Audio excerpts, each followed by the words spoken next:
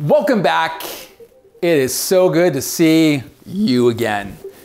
In today's video, I've got something, well, you know where it's gonna go. Stay tuned. It's gonna be a little bit of short, a little bit of long, and a little bit of fun coming right up.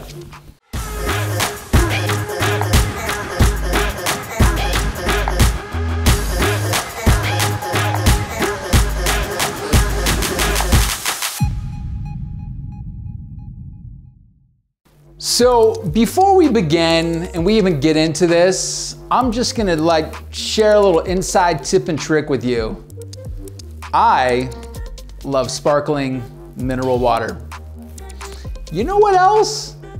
If you wet your hair down sparkling mineral water, no, I'm just kidding. I've never done that before. You know what I mean? Like, seriously, just use regular water. You don't have to use mineral water or sparkling water to wet your hair down, you know? Had you going there for a minute. All right, let me just take a little sip here. We'll get right into it. Let's go ahead and start the haircut. I'm gonna show you basically where we're gonna start and I'll explain more about where we're going as we get along. So let's go ahead and start what we're gonna be doing. We're gonna be starting off with the center part. That's super important. And then we're gonna be establishing that our shortest point wants to be right up here in this front area okay? So if you've seen in my previous videos, one of the things is how I actually find the fringe is I will do this blousing technique right in front. And you can see how I just did that. If you wanna know more about how I did that, I'm gonna go ahead and link another video, boop, right there. Do you like that little sound effect? You like that little boop, boop, boop? I mean, come on. That's either like really annoying or it's kind of really funny. I'm thinking it's kind of funny. Morgan's laughing. All right, well, let's just go with it. So now we're gonna see exactly where our frontal area is, which essentially would be this area right through here, okay?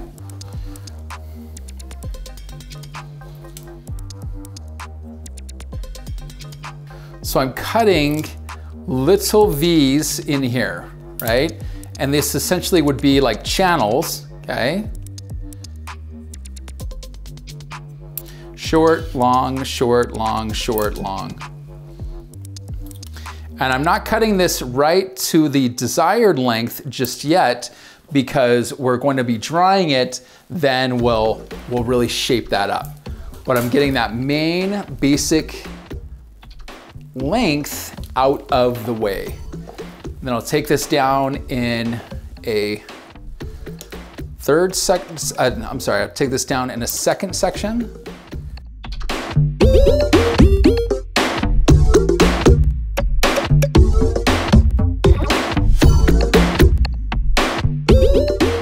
Okay, now that we got this out of the way, just like that, now we're gonna have like this pretty heavy fringe right in front. Now what we're gonna do is we're gonna have a little bit of fun with the rest of this.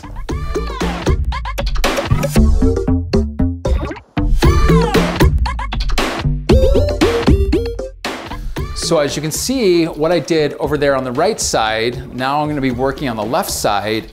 We're gonna be using a razor and we're going to start exactly where um, that longest portion on that fringe and then we're basically going to layer all the way around, creating this like almost kind of short to long. And so we're gonna be opening up the face a ton. This is what you can actually see right now, just opening up that face. So this haircut, there's really nothing to kind of hide behind. So you've got that kind of fuller fringe, but now you're gonna start to have like that, essentially that shaggish kind of like layer, but we're gonna be going a little bit more intense, kind of more mullet-ish, and it's gonna be awesome. It's gonna be a lot of fun, especially once we start to dry this, but you're really starting to see a lot of that texture come out. So we're gonna go ahead and do a little B-roll, and we're gonna go back and forth from like left to right. And so let's go ahead and do that right now.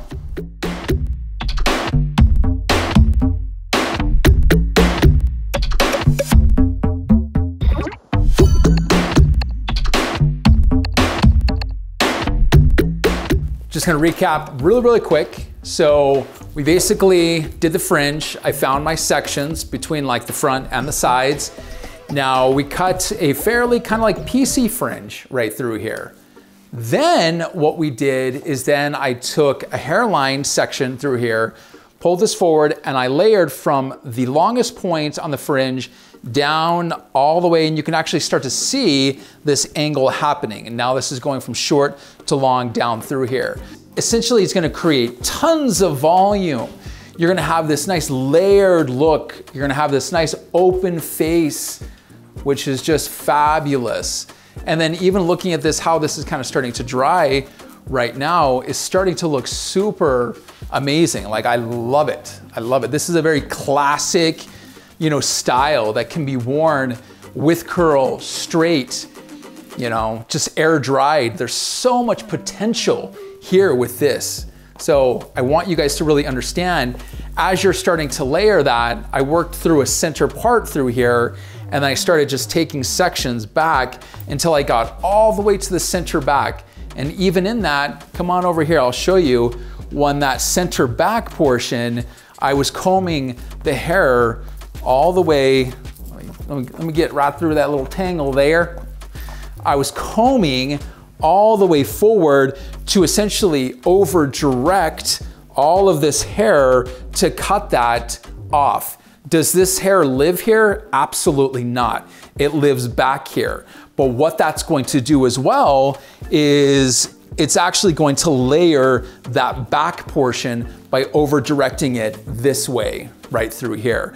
So keep that in mind, guys. The other really cool thing, and I mean, again, this is, you could totally do this on yourself. It's like DIY, you know what I mean? Like, but I mean, do you really want to? I don't know. I mean, I would recommend going to a trained professional. Come see me. You come see me, all right? Come see me. I will hook you up. I, I will take your hair from ordinary to extraordinary. Just kidding. I no, I mean, I'm not kidding because I totally will, but you want to come see me? You want to make an appointment? Yeah, yeah. Let's make it happen. I would love to do your hair. But anyways, this is what's super rad about this. We're gonna go ahead and dry this. I'm gonna smooth this out and uh, yeah. Does that hurt? Yeah. I mean, if I was seriously like leaning on their head and they were kind of leaning over and I was like, oh man, like, you know, that would be pretty funny. So let's go ahead and try this. Okay, I have got something that is so amazing. It's from Kerastase. It's called Cream Magistrale. Magistrale. I can never pronounce the name right, but it looks like a cream, just like so. We're gonna go ahead and use it. You can use this on wet hair and you can use this on dry hair. And the cool thing about it I actually use this on one of my clients today in the salon because she's got like naturally kind of puffy ends that can look a little bit frizzy or can look a little bit dry. And so you take this product, it's almost like lotion for the hair, which is pretty amazing. And so as I start to put this in the hair, just like now, you're gonna start to see a lot of that texture coming out, but we're going to dry it and it's just gonna have that much more shine. It's gonna have that much more of a healthy look about it. So I wish you could smell this. I mean, here, see, can you smell that? Can you smell that? Oh, dude, okay. Okay, so hopefully you know what I am smelling right now because, whew, man, that smells good, you know? You get this product, I'm gonna go ahead and link that below. You're gonna, you know, you, you'll know because you smelt it just barely, but whoo, it's good stuff, man.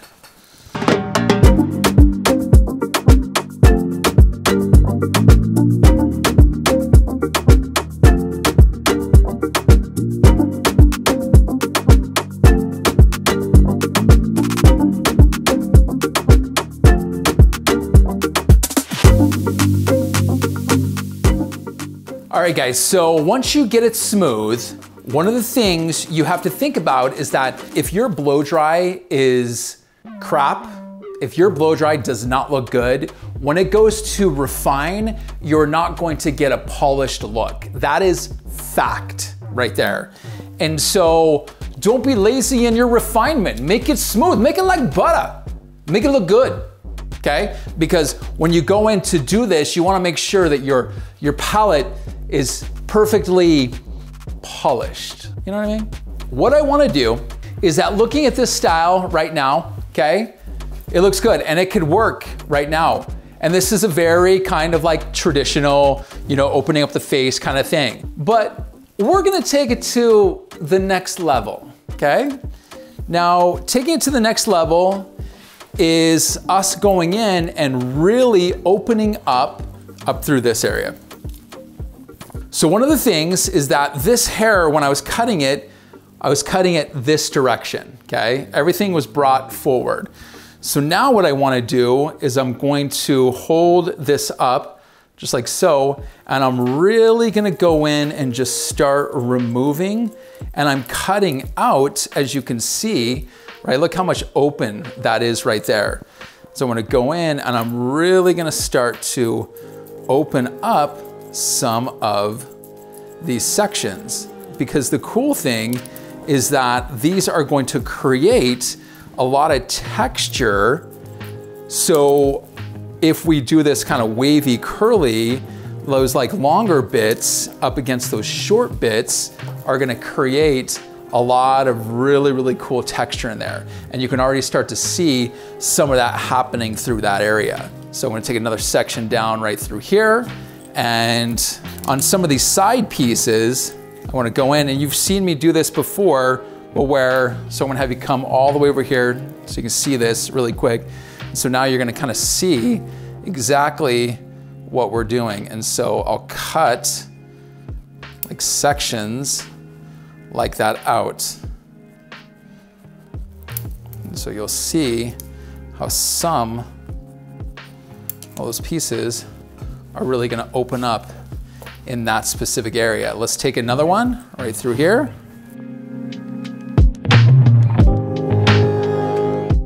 And you'll start to see how some of those like short bits in there are gonna help create some of that texture through that area. The other really cool thing is that's what helps support some of that volume that you're trying to get through that round of the head right through here, through this area right through here. And so, you know, a lot of times people, their hair falls super flat around that specific area. And so this helps to support that. So that short hair in there is what's gonna help kind of support some of that longer hair. And as you kind of look in there, you can start to see how that volume is holding up right through that area. So that's another really cool thing. So when you guys go in to cut your shape, and shapes in the salon, if you're doing this on yourself, whatever it may be, you have to understand that there's an outside perimeter here that we cut, and then there's an inside portion of hair that we need to cut to help support that outside. I mean, if you guys are finding value in this, go ahead and like, subscribe, you know, share it, send it over to somebody. Be like, dude, check out this guy, Jake. Look at him cutting hair. He's like, Hopefully he's like a magician, you know, whatever. But again, you know, I appreciate that, guys. Really, thanks for checking it out. Thanks for commenting. Thanks for, uh, thanks for the love. The cool thing, as you're starting to kind of look through here, you know, me taking out some of that texture that I took out before, it was looking really bulbous right now. Like now it's kind of bringing it right back into that modern world to where now it's like she's got a little bit of height through here. It's not too big out through this area, but then she has that length down through there. So again, this, this guy is, is bringing it into like the modern world. Back in the 80s, 70s, like they probably weren't doing as much texturizing in the hair. So the shapes were the same, but the texture is completely different. So it's modernizing it, it's bringing it to the modern world. It's making it to where the older generation and the younger generation are wanting to wear these looks. You know what was so crazy? I was at a, I was at a family event the uh, last weekend and there was an extended family of my wife's family that was there. And this girl probably was no older than maybe 14. Well, she's walking around with this like rocker shag, like hair, haircut, and her hair's naturally curly. And the funny thing, she's rocking this poison, open up and say ah t-shirt. And if you know what I'm saying, hit the like button on this video, make a comment. I had that exact shirt when I was younger. Poison, yeah. You know, I'm not trying to date myself. No, I'm not that old. Not that old at all. But the thing about, you know, trends and fashion, things come back, right? Like, you know, things are going to evolve. You're gonna start to see like curtain fringe is so hot right now. Curtain fringe is basically like it's pretty much a shag, but they cut that shag short and it's just like the shortest point. That's the starting point of like a shag. It's crazy. Or side swept fringe, that's essentially curtain fringe, but instead of it just like swooping over from one side, now it swoops from the front, just like that. That's it. You can start to see, like you can see how short some of those pieces are in there versus close to those long bits. And if I backcomb that, you can see how that looks. And the really cool thing is if you do this right, you're not gonna see that texture like in that hair, meaning that if she was going to kind of go and part her hair, it's not gonna be like this awkward texture that's like sitting right there on top of the head. I'm very cautious of where I am, where they would part their hair. But you know, down underneath this area, I can go a little bit more aggressive because it's not gonna be hair that essentially sticks up. So always being aware of really where you are on the head is super important. All right guys, so we're at that point now where I've taken out enough weight that I really wanna take out.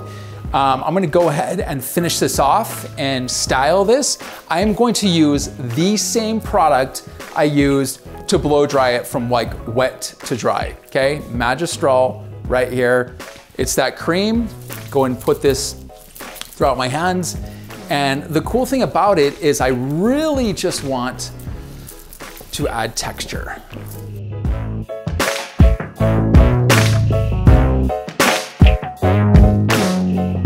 Again, I hope you guys truly enjoyed what I did today. If you guys don't have that Magistrale cream, get it. It's a game changer. It's amazing. And you can see how you can create this texture on the head to where it has shine, it has definition, but it's super soft to the touch. And the cool thing is that, again, smell that. You know, you know what I mean, okay? Yeah, it's, it's legit, right? It's very luxurious, luxurious. Check this out again. I hope you guys enjoyed it. My name is Jake Thompson Hair. If you're not subscribed, go ahead and subscribe. If you made it this long and you haven't liked it, like the video. I hope you guys are enjoying these. They come out every Monday and Thursday. I will see you in the next video.